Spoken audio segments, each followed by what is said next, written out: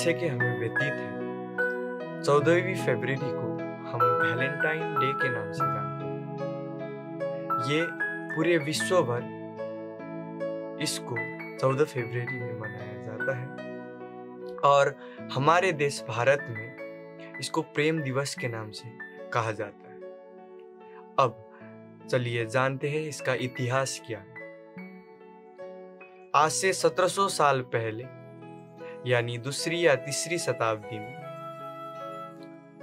एक क्लोडियस नामक राजा था रोम का, जो अत्यधिक क्रूर था। वो यह सोचता था कि पूरे संसार पे मैं फतेह करके उसको एक अपने छत्र छाया में उसका एक छत्रपति राजा बन जाऊँ। तो वहाँ रोम में ये उसने पाया कि जो स्त्री पुरुष के साथ वैवाहिक है, जिसका पुरुष के साथ संबंध है, जिस पुरुष का स्त्री के साथ संबंध है, वो कम बलशाली और जिसका संबंध किसी भी स्त्रियों के साथ नहीं है, वो ज़्यादा बलशाली, ये उसको प्रतीत हुआ। जब ये बात उसको प्रतीत हुआ तो उसने एक नियम बनाया रोम में, देश में कि यहाँ अब किसी भी पुरुष को स्त्री के साथ प्रेममय संबंध रखना वर्जित है। किसी भी वैवाहिक संबंध को अब यहाँ संपादित करना असंभव है, ये मैं मना करता हूँ। जब क्लॉडियस ने यह निर्णय लिया तो वहाँ एक सेंट वैलेंटाइन सेंट सेंट यानी साधु होता है। एक साधु, वैलेंटाइन नामक साधु वहाँ रहता था। तो उसको ये निर्णय सुनकर अत्यधिक बुरा लगा। जब उसको ये निर्णय सुनकर अत्यधिक बुरा लगा तो उसने विचार किया कि अब मैं, जो भी स्त्री या पुरुष एक आपस में प्रेम में संबंध रखना चाहते हैं, उनको छुपके से अपने पास लाऊँगा और उन लोगों का वैवाहिक जीवन प्रारंभ करवाऊँगा। तो उसने एक दो ऐसे शादियाँ करवाई। तो करवाते करवाते ये बात रोम के राजा क्लोडियस को पता चल गया। तो उसने सेंट वैलेंटाइन को जेल में बंद कर दिया। जब जेल में उसने बंद कर दिया तो वहाँ एक जेलर की बेटी थी जो अंधी थी। तो वो बेटी हमेशा उसको खाना देने के लिए जेल में हर रोज जाया करती थी। तो वहाँ सेंट वैलेंटाइन और वो लड़की के बीच एक प्रेममय संबंध वहाँ बन गया। उसके अंधा अंधे होने के कारण उसको बहुत अत्यधिक परेशानी को सामना करना पड़ता था। तो सेंट वैलेंटाइन ने क्या किया कि एक दिन बहुत प्रेम में विभोर होकर अपना हाथ से उस आँख नेत्र में सहलाते हुए, उसने जब सहला रहा था तो अचानक एक चमत्कार दिखने को मिला, देखने को मिला कि उसकी आँख ठीक हो गया। वो फिर से देखने लग गई। तो ये बात फिर से जब रोम के राजा, क्रूर राजा क्लोडियस को पता चला तो उसने सेंट वेलेंटाइन को 14 फरवरी के दिन फांसी के फंदे पे चढ़ा दिया। तो इस दुखदायी घटना को लेकर ये माना जाता है कि चौदहवीं फरवरी को वैलेंटाइन डे के नाम से माना जाता है। तो ये वैलेंटाइन डे हमारे भारतीय संस्कृति में, भारत देश में प्रेम दिवस के नाम से जाना जाता है। तो पहले हम ये जानते हैं कि प्रेम क्या होता है। फिर उसके बाद प्रेम दिवस के विषय में जानते हैं। देखिए, प्रेम जानने के लिए हमें मोह को जानना अत्यधिक ज़रूरी है। जिस प्रकार प्रकाश का महत्व अंधेरे में रहकर ही पता चलता है, उसी प्रकार प्रेम का महत्व मोह में रहकर मोह का पता लगाकर ही प्रेम का सही वास्तविक अर्थ जो है पता लगती है। तो मोह दो प्रकार के होते हैं। एक व्यक्ति मोह यानी आकर्षण। तो कोई व्यक्ति किसी के प्रति आकर्षित अथवा मोह में कब बनता है? जब पहले उसके अंदर उसके प्रति कोई स्वार्थ हो। जब उसका कोई विशेषताएँ, जब उसका धन, पद, शारीरिक सौंदर्यता, ये सबको देखकर अगर वो किसी के प्रति आकर्षित हो रहा है तो इसको कोरा मोह कहा जाएगा, जिसमें कोई सत्य नहीं, जो बिल्कुल असत्य है। तो इसको कहा जाएगा असत्य मोह। अब हम जानते हैं दूसरी प्रकार की मोह, जिसको कहते हैं अर्ध सत्य मोह। इसको मैं अर्ध सत्य मोह इसीलिए कहा, कह रहा हूँ, क्योंकि इसको पूरा ही, यह मोह को पूरा ही झूठा नहीं कहा जा सकता। झूठा इसीलिए नहीं कहा जा सकता, क्योंकि जैसे एक माँ जब बेटे को अथवा अपनी बेटी को बच्चों को जन्म देती है तो उसके अंदर यदि उस बच्चों के प्रति मोह नहीं है तो क्या वो बच्चा और बच्ची ज़िंदा रह पाएगी? कदाचित नहीं रह पाएगी। और अगर बच्चा और बच्ची ही एक माँ ज़िंदा नहीं रख पाई तो ये संसार में जो संसार कैसे चल पाएगा?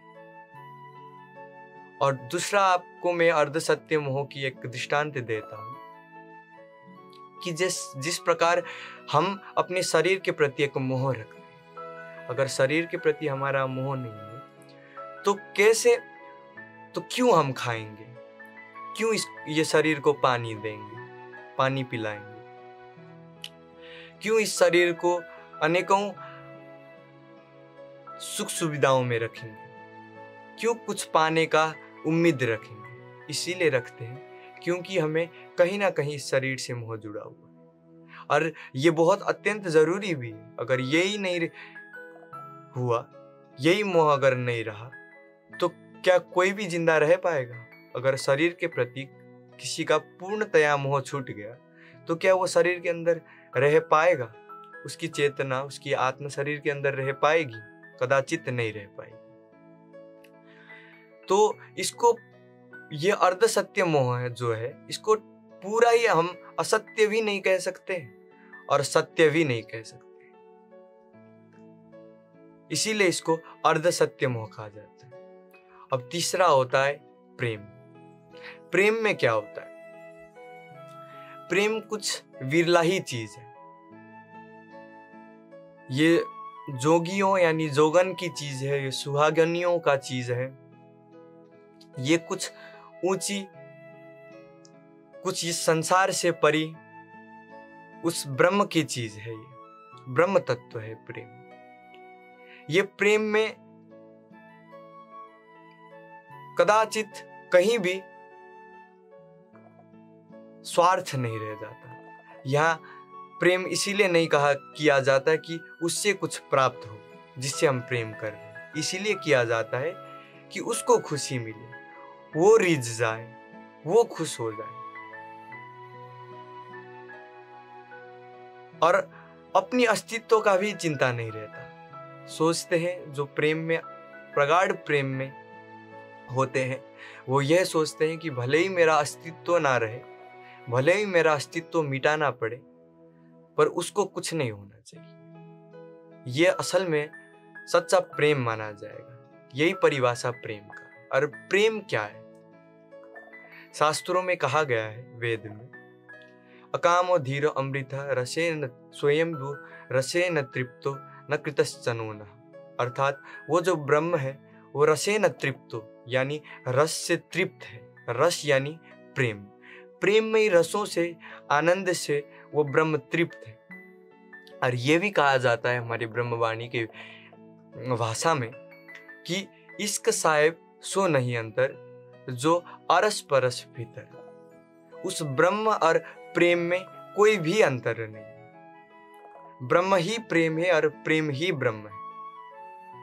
तो अगर किसी के अंदर, जैसे हम एक दृष्टांत ले, लैला और मजनू में तो एक एक प्रकार से देखा जाए तो मजनू लैला के लिए अपने आप को कुर्बान कर सकती है और लैला मजनू के लिए कुर्बान, अपने आप को कुर्बान कर सकती है। पर क्या इसको प्रेम कहा जाएगा? इसको हम प्रेम नहीं कह सकते, क्योंकि प्रेम असीमित होता है। इसीलिए इसको ब्रह्म का स्वरूप माना जाता है, क्योंकि ब्रह्म भी असीमित होता है, अनंत होता है, अनादि होता है। तो ये प्रेम भी अनादि, अनंत और असीमित है। ये प्रेम कभी ना मिटने वाला होता है। तो लैला और मजनू जो एक आपस में मोह अथवा प्रेम ही रखते हैं, एक हिसाब से कह कह दिया जाए कि प्रेम ही रखते हैं फिर भी वो प्रेम क्या हो जाएगी? सीमित हो जाएगी। किस चीज़ में, किस रूप में सीमित हो जाएगी? शारीरिक रूप में सीमित हो जाएगी। जब लैला का शरीर भी नहीं रहेगा, मजनू का शरीर भी नहीं रहेगा तो उनके बीच का जो आकर्षण है, प्रेम है, वो भी, वो शरीर के साथ साथ मिट जाएगी। तो ये सीमित हुआ, ये मिट जाने वाला हुआ। तो प्रेम वस्तु क्या चीज़ है? जिसको मीरा कर दिखाई।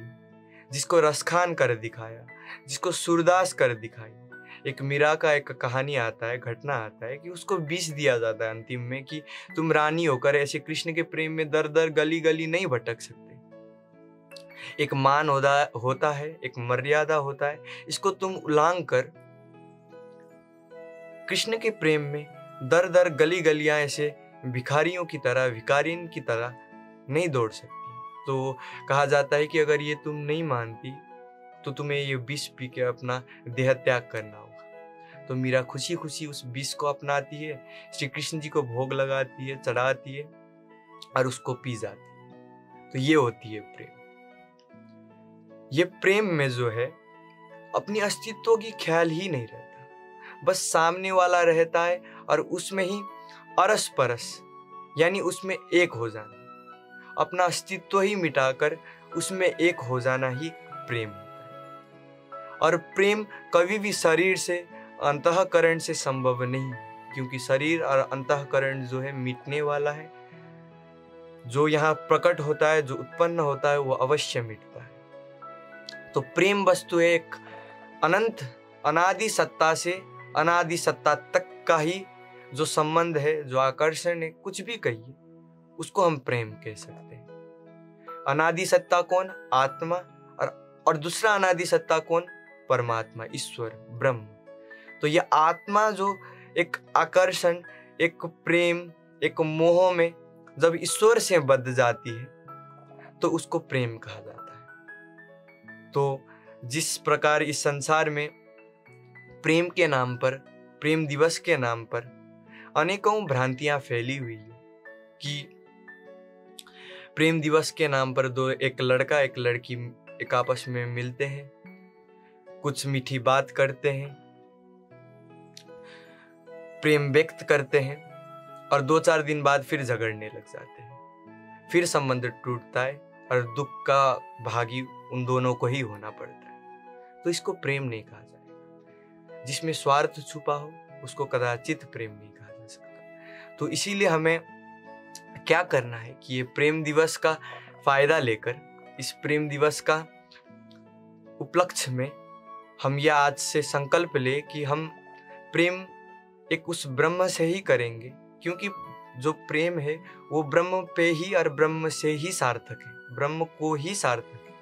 प्रेम अगर और किसी भी वस्तु को करेंगे तो वो मोह कहला जा, कहलाई जाएगी क्योंकि ये संसार की हर एक जो वस्तु है वो मोह तत्व से बना हुआ श्लोक आता है, सुक्ति आता है महाभारत में। जगत मोहत्मकम प्राहु अव्यक्त व्यक्त संजक अर्थात, ये संसार में जो चीज़ भी बना हुआ है, वो महतत्व से, मोह से बना हुआ है। ये जगत का निर्माण ही मोह से होता है। तो अगर इस जगत की किसी भी चीज़ से अगर हम प्रेम रखते हैं, मोह रखते हैं तो किसी काम का नहीं। एक दिन मिट जाने वाला है। जिसका अंतिम में जो रिज़ल्ट है वो जेरो आने वाला है। तो क्या करना है हमें कि इस प्रेम दिवस के उपलक्ष्य में, उस ईश्वर से, उस ब्रह्म से जो सर्वोच्च सत्ता है, जो कभी ना मिटने वाला है, जो अनादि अनंत है, जो प्रेम ही प्रेम, आनंद ही आनंद का स्रोत है, उस ब्रह्म में अपना प्रेम लगाकर उसमें ही विलीन हो जाना तभी हमारा ये प्रेम दिवस जो है सार्थक हो पाएगा। ना कि दो लड़का लड़की मिले, कुछ शारीरिक संबंध बनाए, हृदयों का संबंध बनाए और कुछ समय बाद छूट ऐसा। तो आज यही बोलकर मैं इस दो शब्द को विराम देना चाहता हूँ।